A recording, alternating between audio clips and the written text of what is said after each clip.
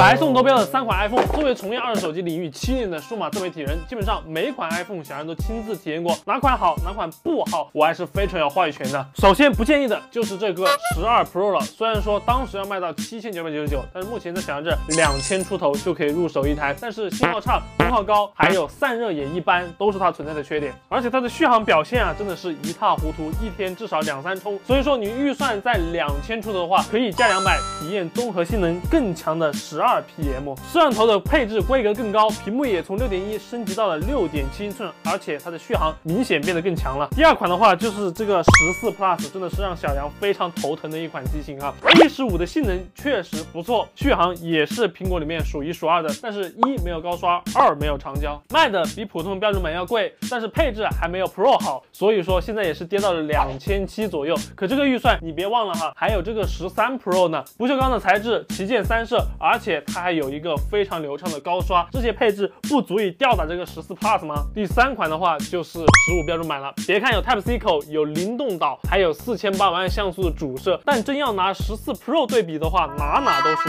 首先外观方面，Pro 就比标准版多了几分精致，屏幕显示效果看似旗鼓相当，实则滑动起来十四 Pro 还是更加的顺滑，而十五胜过十四 Pro 的只有价格了。目前十五一百二十八 G 在咱们家报价三十五张，而十四 Pro 的话只有有三十八张左右，不用小杨多说，都知道选谁吧。